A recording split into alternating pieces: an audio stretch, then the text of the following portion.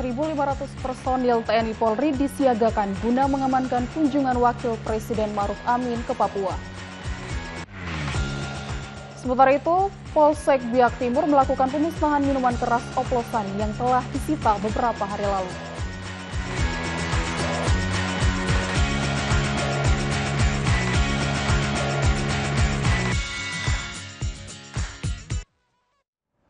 Selamat siang saudara, selain dua topik utama tadi, Klik Papua Siang kembali hadir dengan sejumlah informasi aktual lainnya yang akan kami hadirkan untuk Anda edisi Senin 9 Oktober 2023.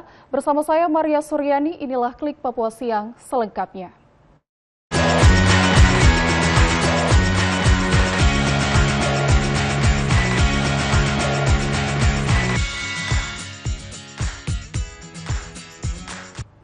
Kita awali informasi pertama, saudara sebanyak 1.500 personil gabungan TNI dan Polri disiagakan.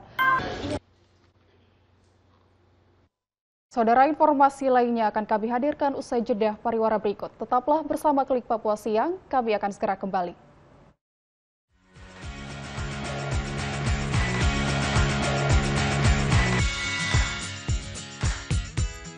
Warga Plus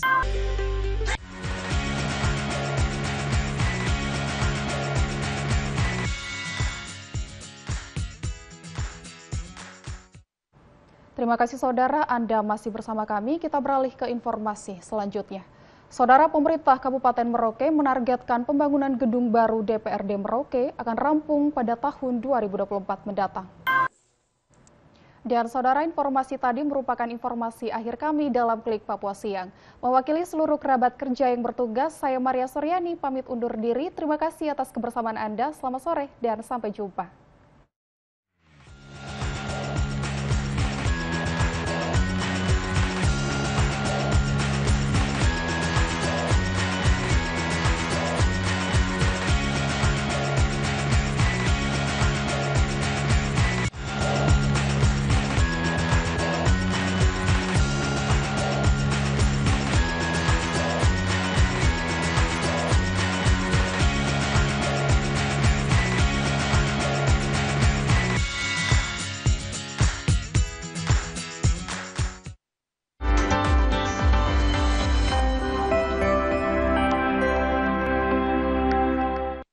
Warga Plus